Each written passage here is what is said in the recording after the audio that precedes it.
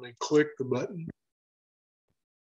Thank you. We're welcome to uh, a gathering of friends on Sunday, two days before Valentine's Day, or uh, actually uh, day before Valentine's Day. Excuse me, the day before Valentine's Day, February 13th. Uh, we're glad you got to join us, and we're going to talk about uh, the first few verses of Matthew uh, chapter 5. It's Jesus.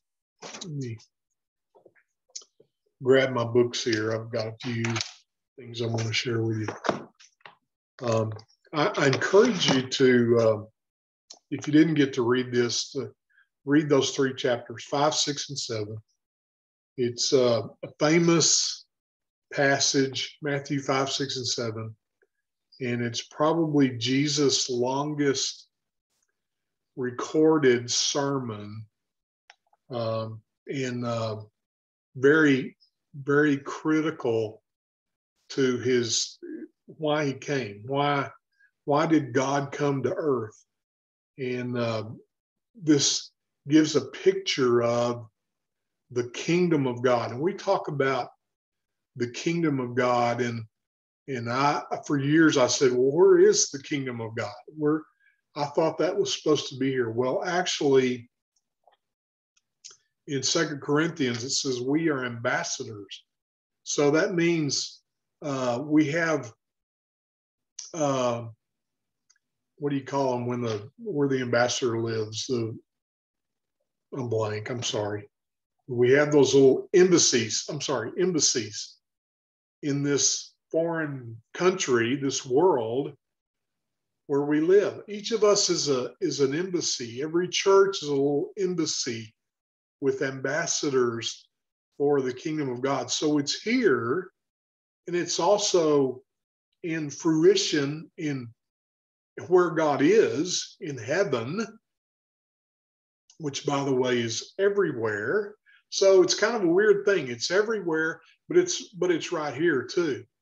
But remember, we're in the middle of this battle that's going on, this war, and so we are uh, Christ's ambassadors. Jesus is saying, "This is what the kingdom looks like uh, when you're here." Now, uh, we don't know exactly where this took place. It's probably uh, close to the Sea of Galilee, probably near Capernaum somewhere, but it's but it's up on a hillside uh, Jesus had only called four of the 12 disciples at the time he gave this. So we don't know if he was talking to a bunch of people or just a few people, uh, probably just a few because that, that's who could hear him.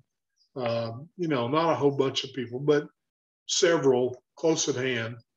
And it said the disciples followed him on up the hill, his disciples. So, anyway, Jesus was talking about this and uh, it was early in his ministry, and he was introducing the kingdom of heaven. Now, I said last week, and, and I think when we read this, we we uh, at least I and I think some of us have read this and thought of it as more uh, a, a list of rules, and it says things like don't judge, don't worry, don't lust, don't, you know, turn the other cheek, don't do this, do that, do this, do that. And we've looked at it as kind of a list of rules and said, okay, well, I've got to do these things in order to be a follower of Christ. And that's really not the idea.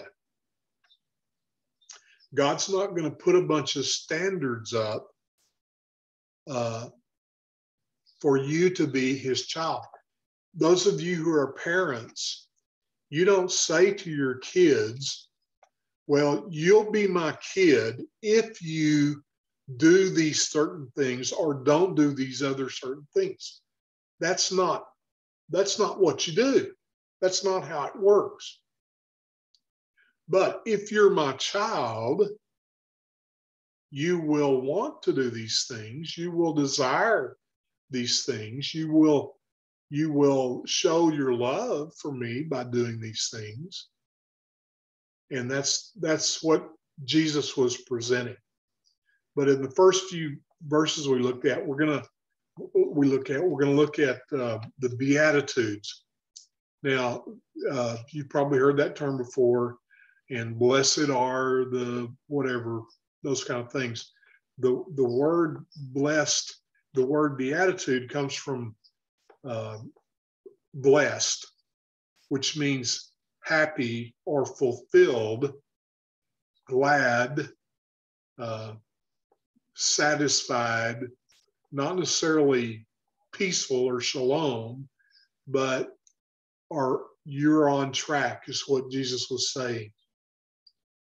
And also, I want you to think about as he was saying these things, he was he was not thinking of some theoretical crowd.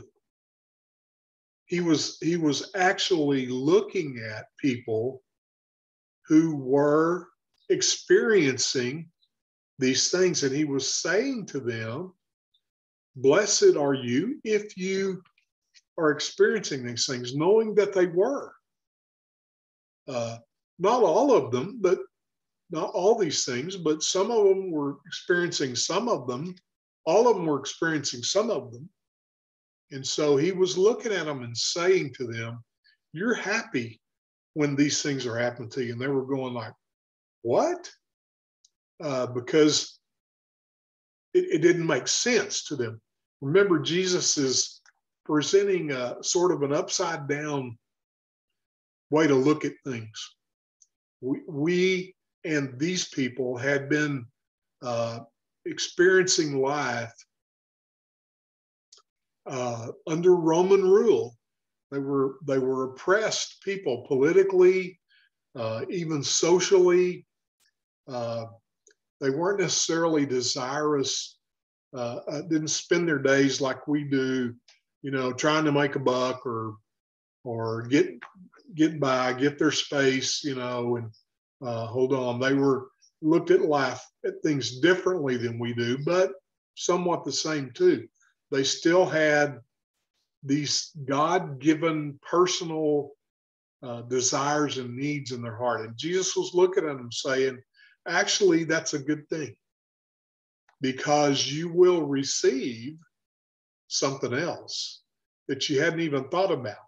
You're thinking of it in worldly terms, but I'm telling you, this is what's happening. This is what's going to happen. And so you're blessed. So it was encouraging. It was also confusing, but it was the introduction to the, the new way, the new kingdom that Jesus came to introduce. So, um,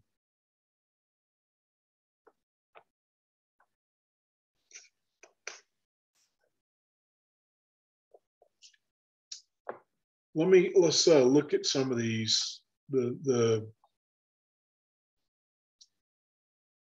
as I said, uh, blessed or the beatitudes means the happiness, the satisfaction, uh, uh, not not an ethereal coming thing, but right now, what's going to happen to you is this.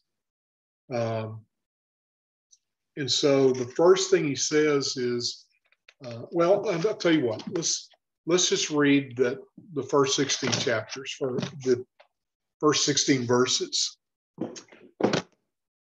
Five.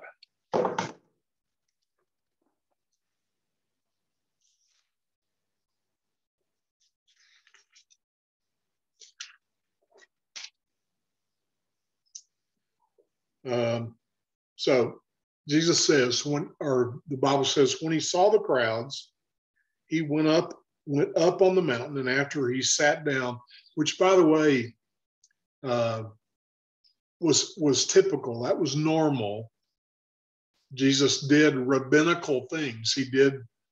Uh, it was normal for the rabbi to sit down. We're used to our preachers standing up and preaching to us, but uh, rabbis are seated. They sit down at the same level as their followers. So Jesus sat down and his disciples came to him. That's where I was I was telling you, he probably wasn't talking to the crowd. He wasn't standing up shouting at the crowd.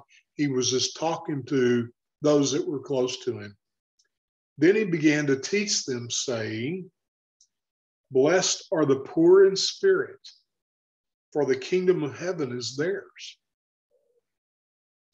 Blessed are those who mourn, for they will be comforted. Blessed are the humble, for they will inherit the earth. Blessed are those who hunger and thirst for righteousness, for they will be filled. Blessed are the merciful, for they will be shown mercy. Blessed are the pure in heart, for they will see God. Blessed are the peacemakers, for they will be called the sons of God. Blessed are those who are persecuted because of righteousness, for the kingdom of heaven is theirs. You are blessed when they insult you and persecute you and falsely say every kind of evil against you because of me. Be glad and rejoice because your reward is great in heaven. For that is how they persecuted the prophets who were before you. You are the salt of the earth. But if salt should lose its taste, how can it be made salty? It's no longer any good for anyone, anything, but to be thrown out and trampled under feet. You are the light of the world. A city situated on a hill cannot be hidden. No one lights a lamp and puts it under a basket, but rather on a lampstand, and it gives light for all those who are in the house. In the same way, let your light shine before others so that they may see your good works and then give glory to your Father in heaven.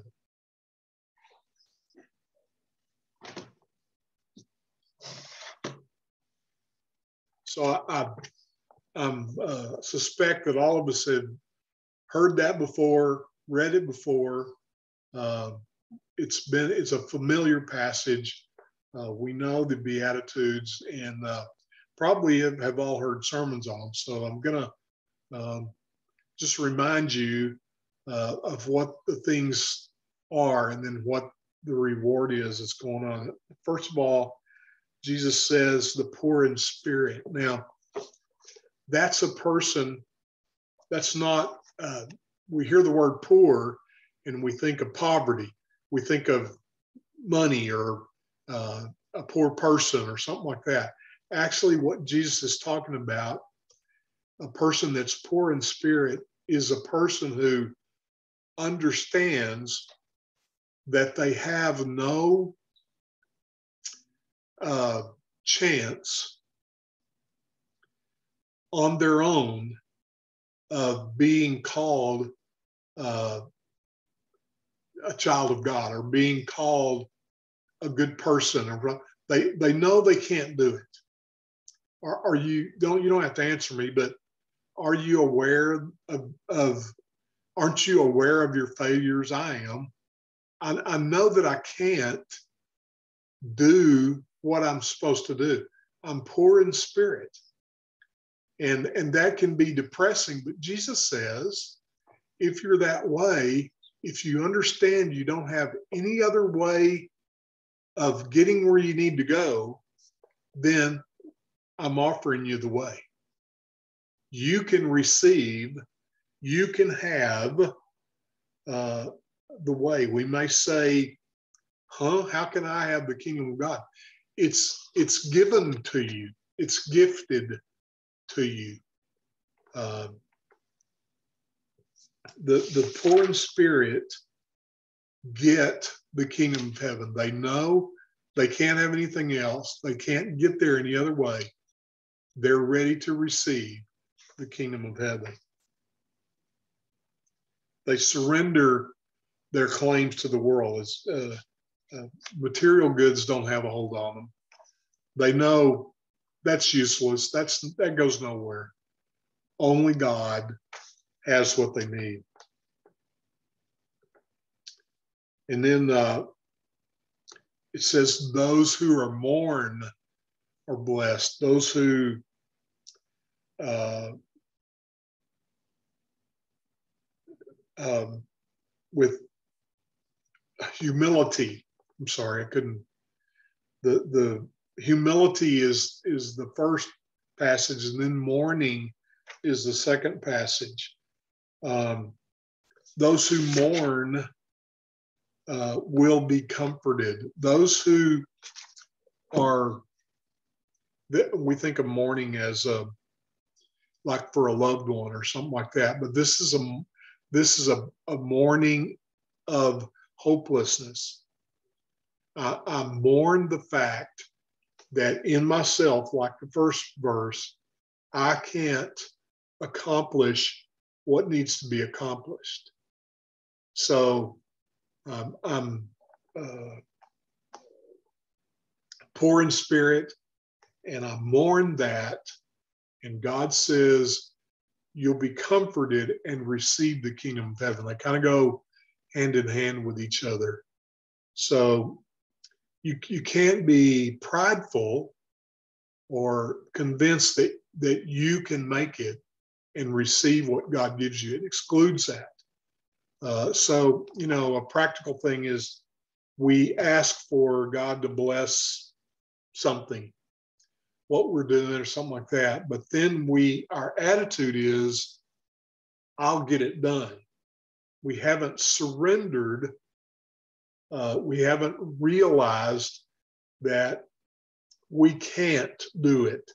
Only God can do it. And at that point, then he can intervene. Up to that point, he can't. His hands are tied. I to say God can't do anything, but he cannot overcome our decision, our free will. He gave it to us uh, to impose a better thing on us. So, where do you maybe do that in your life? I can think of all the time. I seem like I do that. And uh, I need to surrender to God in order to receive what He has in store. So, verse 5 said, Those who are meek. Now, again, we we misinterpret the word or misunderstand the word meek. Um, we think of a, a, meek and mild person, a very passive, non aggressive, uh, type of person who just takes whatever comes their way and what but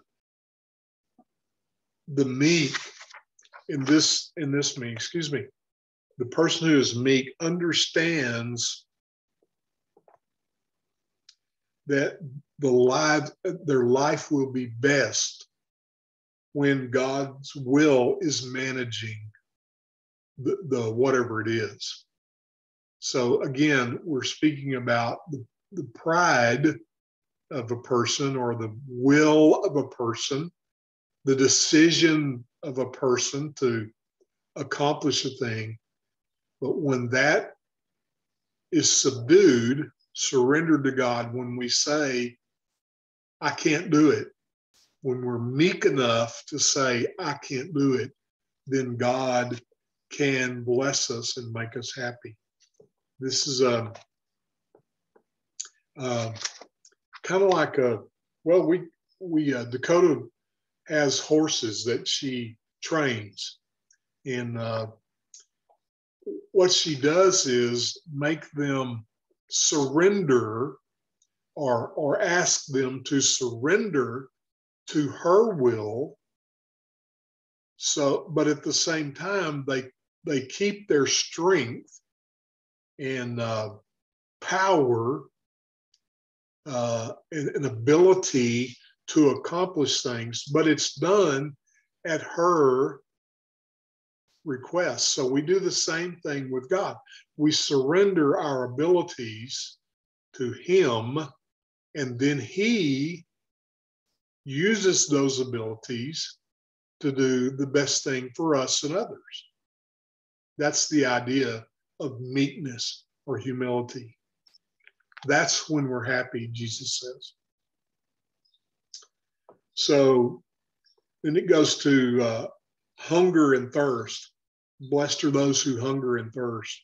Uh, that's the motivation for us to eat and drink, of course. If if we don't consume enough food or drink enough water, we can die. Um, citizens of God's kingdom understand that the, the underlying need to consume righteousness is what causes us to grow and be healthy and develop and, and have ability to do what we need to do. We can't be uh, malnourished in our spirit. We've got a hunger and thirst after righteousness, after God. Uh, and that allows us then to be blessed. Uh, you know, we can't even imagine what can go on, but um, that's what happens. Now, um, the next one is those who are merciful. Now, here's where we've got to go back to um, the the historical context. Um, these people lived constantly in uh, fear of,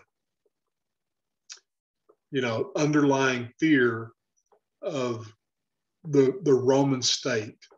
The the in other words, the Roman soldiers or authorities could do anything.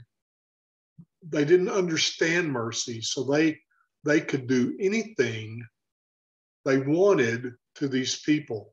We see later where uh, Jesus makes reference to uh, carrying their armor a second mile, go the second mile. Uh, that's just one one thing that could be done, but there was no room for mercy.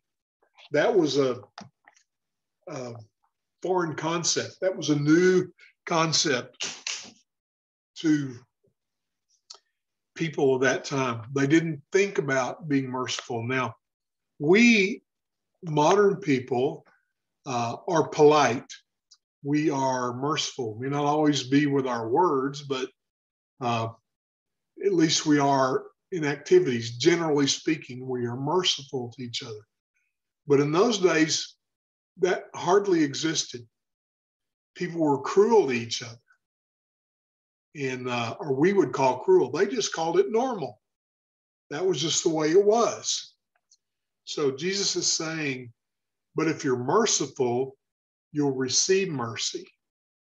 You're gonna you're gonna be happy because you're gonna receive mercy.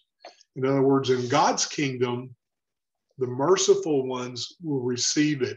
Now we can say, well, that's just karma, for instance, but this is an intentional activity that goes on. So if we're trying to be merciful, then we'll receive it. Uh, and those finally are next, it says, those that are pure in heart, uh, people that are known by their word. Uh, they they stand as as examples of integrity. Uh, they're not double tongued. They don't say one thing and mean something else. Uh, you know, we've all done business with people like that who will, uh, the used car salesman who will tell you one thing and really it's not true. It's just a half truth and, or maybe just an outright lie, things like that. But uh, if you're pure in heart, you, you tell the truth, you live by the truth, you speak the truth, you're not trying to get by with something that, that's not going on. Duplicity, dishonesty, uh, uh, uh two messages out of your mouth are not part of the pure in heart. That's what he's referring to. Instead, they're innocent of that. They mark, they, they, that's the mark of the pure in heart innocent people who who don't assume things, who don't uh, project things. I know uh, people who seem to uh, automatically assume the worst about people. They're suspicious of everything and everybody. Um, you know, nobody, nobody, they become so hardened that nobody tells the truth, including themselves. They always kind of hedge a little bit. But these aren't people who are gullible, but they're just simply tell the truth. Pure in heart. Uh, they're they're going to get their reward. That's who gets to live in the kingdom. And then there's peacemakers, those who are peacemakers. Now, that is uh, not a passive person who just wishes it was peaceful. Those are people who are active in uh, creating peace. They are uh, working to resolve conflict and more than more than just resolving conflict they are looking for and working towards uh, getting along. Okay it's it's more a universal situation that, that can be applied specifically. And uh, you know we're not all called to make peace with the world but we may be in our family, we may be at home, we may be with our neighbor. And so we should be actively pursuing that. And the people who have a heart to do that, who want to do that, they may be apathetic and not busy about it, but they they should be and they are desiring to do that. Those are the peacemakers. Those are the people who are blessed in the kingdom of God uh, by being a peacemaker. And then uh, it's it talks about those who are persecuted. Um, there's a there's a theme of paradox as you've seen in these verses. It, it's over and over. Jesus said, "You you your thinking is worldly. So it doesn't seem like any of these things would bring happiness. And yet, what I'm telling you, Jesus says, what I'm telling you is they will. That's my kingdom, where opposites of what we think is going to happen actually happens. Again, I, I call it upside down or backwards or whatever the, the thinking is totally different, opposite from what we have considered to be the truth. Now, that's in that's in this situation. You understand? So again, the, the paradox is there. Jesus presents this as a paradox. It, certainly in the verse verses 10, 11, and 12, that's seen there. Um, the the all the verses have have uh, kind of indicated a, a persecution, a suffering, and now Jesus brings it. The point being, when you are these things, there are going to be people and systems that will persecute you, that will say you're wrong, that will try to defeat you, cause suffering, for you, but only in a worldly sense can they reach you. So uh, take heart. Your happiness is coming and assured. Um, and and you know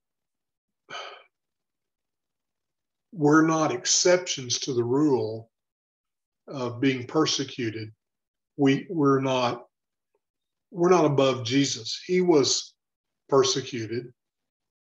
And so we, Bible says, we should expect the same. And so we shouldn't be surprised. Rather, we should be thinking of the blessing that brings to us. So then, uh, anybody have any thoughts on any of these that they want to share? Yeah, a couple of things. one of them that really made a, big impact on me is the example or parallel you gave between uh, Dakota and the strength of the horses and um, their submissiveness. I thought that was a beautiful picture of meekness, and it started making me think about well, for each one of the beatitudes, is there another analogy we could that, that would be with that same kind of impact? You know, yeah. But because because it you know beatitudes, I think is something that's hard for most people to grasp, including myself. But that might help. And then of course, you know the the idea that um, me, somebody can say, you know, Jesus is doing the opposite of the world, but really, in a sense, is the world doing the opposite of what Jesus would do. I mean, they're the one, yeah. the world is the one that's wayward, you know, not not Jesus. So framing it in such a way like you have that uh, he is the standard, uh, uh, he is the right one. Everybody else is screwed up. The other, the world's yeah. way of looking at it is what's wrong.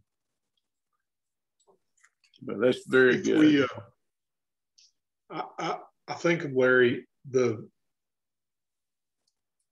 again, I've said this a few times, but our, our minds are conditioned to think in a worldly way. Okay our mamas and daddies, their mamas and daddies, their mamas and daddies, all the way back, teachers, even preachers, politicians, on and on and on. Everybody who has something to say that has some influence, or just about everybody, the majority of, I'll say, are telling us the way to do it. And and we think it's good is to do this and do this and do this. And jesus shows up and says no that's not right. We say oh no is everybody in the world wrong except you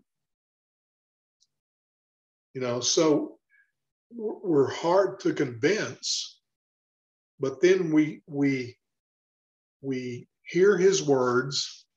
And, and you notice that scripture says, or you, as you've read, um, maybe you've noticed, that several times it said people were amazed at Jesus' teaching because he spoke with such authority. They were they were taken aback.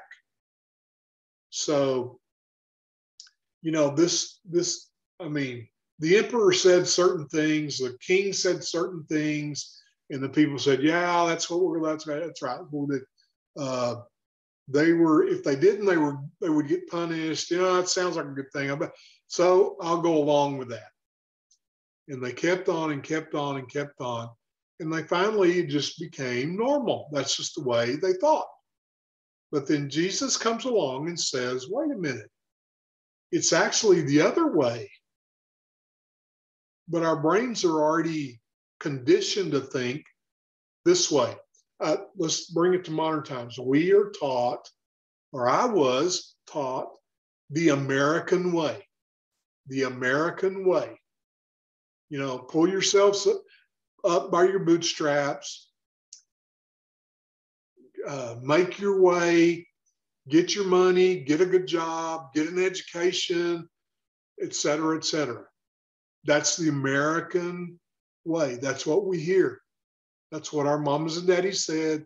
Their mamas and daddies goes back many generations. So we're raised to think that way. And then here comes Jesus 2,000 years ago. He showed up, but it's still written down for us then we read Matthew 5 and we go, wait a minute. He's saying something different. That doesn't make sense. So we have trouble in our heads and in our hearts accepting that this is true. And we may we may say, no, I'm a Christian. And so I believe it's true. Do we live it? Do we really go out and act like it? Maybe, maybe not. So saying one thing and then doing it are two different things. That's actually one of the things he talks about here being duplicitous. So, uh, you know, Paul says in Romans, renew your minds. Let let those let that old way of thinking, that worldly way of thinking, instead become God's way of thinking. And and you and that takes some time. That doesn't happen immediately for most of us. We have to continue to develop that. That's why we say read scripture, pray, spend time with God, journal, do those disciplines so that your mind becomes renewed over time. So anyway, that that's that's brief. But Larry, you're right. I, I was uh, I read that actually, I, and I, I thought of that. It was was so applicable. The horse is still strong. The horse is a is a fifteen hundred pound muscle. You know, I'm, I'm looking at them out here in the pasture. I'm I, I don't want them to step on my feet. It hurts they're big and strong and they can bite and kick me and whatever else they can do that and yet they have surrendered their wildness their will so to speak to mine that's what god is saying if you will be strong but let me use your strength to do what i have in store you're going to be blessed. So that's just one one picture of that. Don't. The other thing is, uh, you know, be honest. Don't don't your integrity. Be be that person. Now a lot of us don't have trouble with that. We're all we're all pretty honest people most of the time. Uh, but but when it when the rubber hits the road, are we really uh, we really going to say what we feel, what we believe is a truth, or are we are we going to hold back? Sometimes being dishonest is not speaking. You don't you don't have to tell a lie. Sometimes you need to say what's true, and instead you just keep your mouth shut. Same thing the damage is done. Uh, might be a little thing, might be a big thing. There's a problem though. And you do that hundreds of millions of times, and you end up with a world like we've got. you know, and and on and on through these through these things when we're when we're not meek, when we're not poor in spirit. Uh, there's there's one, the very first one. When we think we can do anything, good a good thing, but anything, when we think our power controls the situation, we've got a problem. Do that a hundred million times, billion times, we've got what we've got. See, see where in, it takes us, as opposed to if we had done a hundred billion times what Jesus said to do, where would we be today? Would the would the kingdom be a great thing, and there would just be little outposts of non-kingdom? you know, it makes you wonder. So let's go on and, and talk about uh, the salt and light. We say that a lot. That Christians should be one. Christians should be salt and light. Um, one thing I read about that that we need to consider is that the salt in those days wasn't as pure as what we have. So that is important in we when we think about what it's doing, and especially when it's thrown out. uh, it, it, becomes no good. It's thrown out. So that kind of gives us an idea of perspective where it's coming from. But uh,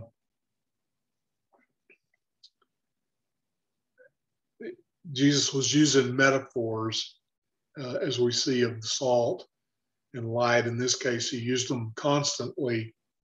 Uh, we're not literally salt or literally light, but we're not a lamp or salt on a salt shaker, but we should act like those things. Um, think about the characteristics of salt and light. He pointed out, probably pointed to a city where you could see the lights. Now, again, this is, we got to think a little different. We're, we're uh, used to light. Uh, we can flip a switch and light up a room. It's no big deal. Uh, when we end up in the dark, we're kind of, what do we do? Our thinking is, we got to light this up. At the time that Jesus said this, dark was normal. Not only, not only literally, but uh, spiritually too. But but dark was normal. The world was dark, physically very dark. There was very little to give light. There was no electricity. The only light you had was a candle or a torch or an oil lamp or something. And that gave much less light than the uh, fluorescent or incandescent lights that we use today or LED. So it was a being a light to the world was a huge thing to people to hear that.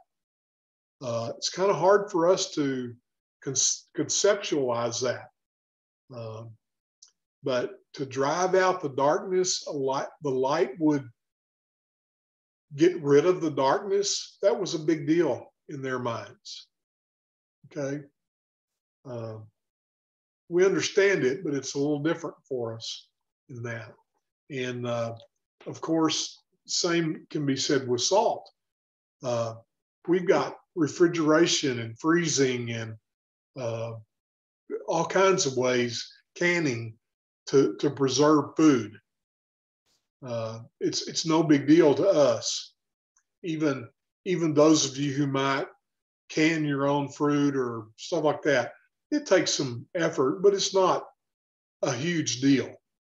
But back in that time, just getting salt was a big deal. When they had to either eat something right away, just get what they needed, no way to store it, uh, they either had to do that or they had to get salt and preserve it, which changed the taste, changed the whole makeup of the thing. So this was a big, big, big deal to these people to hear this. And we need to uh, hear it as close as we can. We need to hear it the same way. So uh, Jesus says it would be silly for you to light a light as as big a deal as that is and then hide it under a basket why would you do that that would to to people that heard Jesus uh, doing that would be stupid. Don't waste the money on the oil or the candle or whatever it is, and put it under a basket. If you need light, you need light. So uh, in in in a city that's giving light off can't be hidden. It's it's going to shine. So you be the same way. You be the preservative. You be the flavoring. You be the salt of the earth. Uh, that's what, and again, folks, that doesn't mean, I, don't know how I can emphasize this anymore, but that doesn't mean I have to try harder to be salt and light. Um, what it means is I will be salt and light if I let Jesus be my king. If I position myself, uh, condition myself, discipline myself, pride, arrogance, things like that. If I put those aside and let Christ be over me, then I will be a kingdom person who gives salt, is salt, and gives light. Does that make sense? I, I don't know how uh, I can express it. So many of us, including me, uh, try to be those things when actually we're doing it with our own power. We may not realize it, but we're trying to do those things in our own strength. And we can't do it. We, we can't do big things. We can't do little things. Jesus has to do those for us. Surrender is a key. Larry said it a few weeks ago. It keeps coming back. That surrendering my will to God's is what creates, makes us into what we need to be.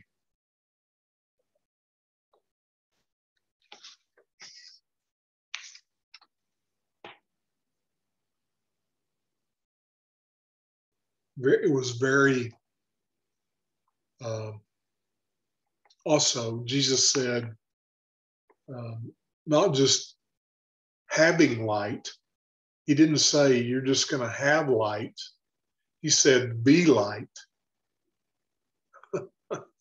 uh, don't just have Jesus, be Jesus. You will be Jesus. So that was a big deal too that they heard that, they understood that, and how profound that was. Uh, to to think that way, to again, folks, this was so different. This was so, uh, what's the word? It, it, just wasn't like anything I'd ever heard before. So radical. Uh, and, and we have, uh, I wouldn't say normalized it, but we've made it almost insignificant.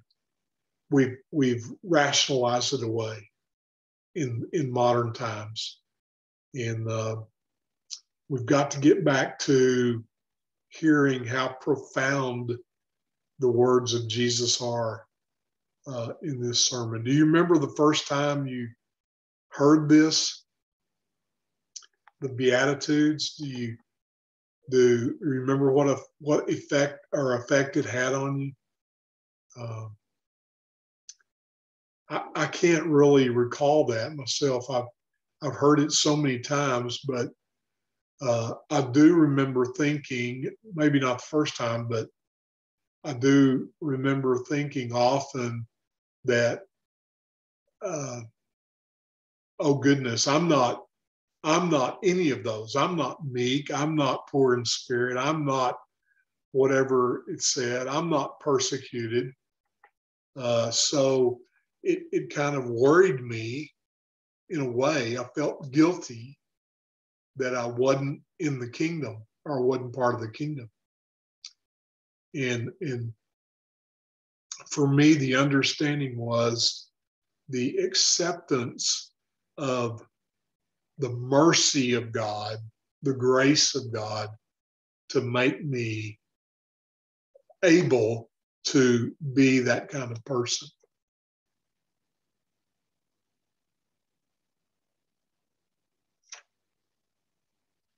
do you uh, do you desire really the the the kind of happiness that is talked about? Remember, this is a this this word uh, blessed. Uh, we we it's a church word. We use it all the time. You know, well, be blessed. You're blessed. etc. It's really a significant, it's a big deal. And we have sort of trivialize the meaning of the, of the fulfillment of the, of the total happiness, satisfaction that the word means. And uh, we said, well, we say, I'm, you know, I'm kind of blessed. There's no such thing as kind of blessed. you either are or you aren't. Uh, so try to try to.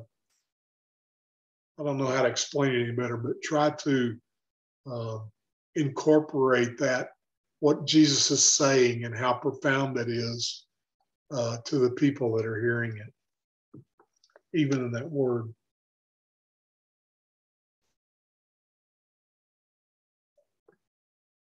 Anybody have any other thoughts on uh, the the beatitudes or the salt and the light that Jesus not only promises to give us, but that we can share?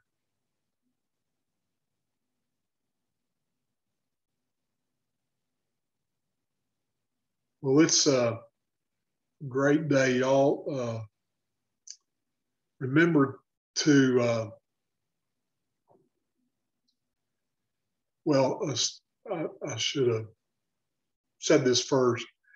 Uh, let me ask you do do any of you have uh, uh, any prayer need or particular thing today you'd like to share with us that we can uh, pray about anything at all i shared with you earlier about uh, our friend Cheryl having surgery on Wednesday. We want to pray for her.